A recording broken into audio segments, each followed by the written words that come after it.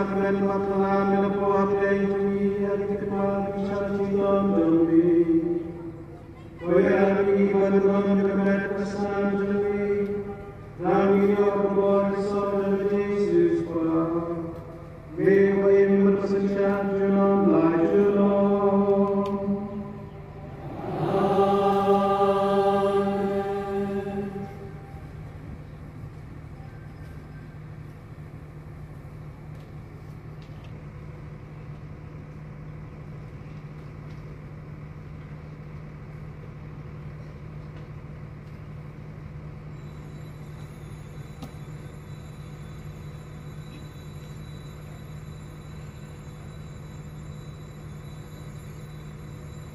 do.